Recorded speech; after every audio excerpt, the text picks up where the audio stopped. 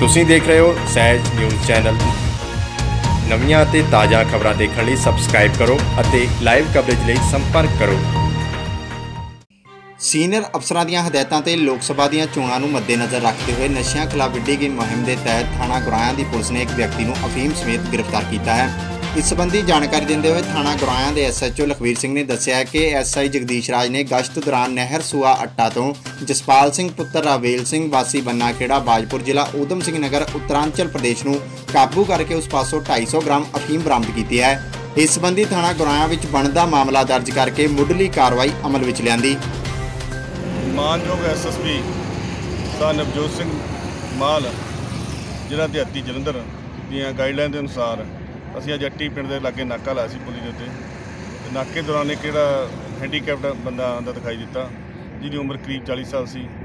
ਤੇ ਸਾਨੂੰ ਉਹਦੇ ਸ਼ੱਕ ਹੋਇਆ ਵੀ ਤੇਰੇ ਕੋਲ ਕੋਈ ਨਸ਼ੀਲਾ ਪਦਾਰਥ ਹੈ। ਜਦੋਂ ਉਹਦਾ ਨਾਮ ਪਤਾ ਪੁੱਛਿਆ, ਤੇ ਉਹਦਾ ਨਾਮ ਜਸਪਾਲ ਸਿੰਘ ਸਨ ਰਵੀਰ ਸਿੰਘ। ਵਾਸੀ ਉਦਮ ਸਿੰਘ ਨਗਰ ਉਦਮ ਸਿੰਘ ਨਗਰ ਦਾ ਰਹਿਣ ਵਾਲਾ ਜੋ ਉੱਤਰਾਖੰਡ ਵਿੱਚ ਪੈਂਦਾ ਹੈ।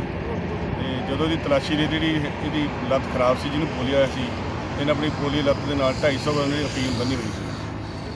ਪਲਾਸਟਰ ਲਿਫਾਫੇ ਪਾ ਕੇ ਤੇ ਅਫੀਮ ਬਰਾਮਦ ਕਰਨ ਤੋਂ ਬਾਅਦ ਅਸੀਂ ਮੁਕੱਦਮਾ ਦਰਜ ਕਰਕੇ ਅਗਲੀ ਤਫਤੀਸ਼ ਸ਼ੁਰੂ ਕੀਤੀ